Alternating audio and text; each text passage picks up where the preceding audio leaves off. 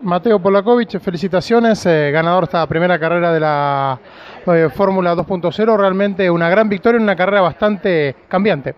Sí, la verdad que sí, estoy muy contento, no me esperaba ganar hoy porque el fin de semana se hizo muy cuesta, muy, muy cuesta arriba con la, con la rotura de dos motores, uno en entrenamiento, otro en la clasificación.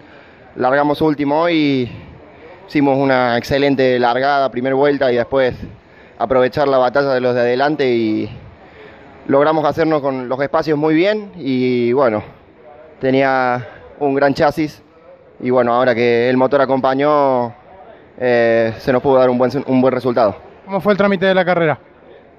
Eh, la verdad no sé, no me acuerdo, puedo decirte cosas puntuales, pasé tantos autos que eh, no lo recuerdo en este momento.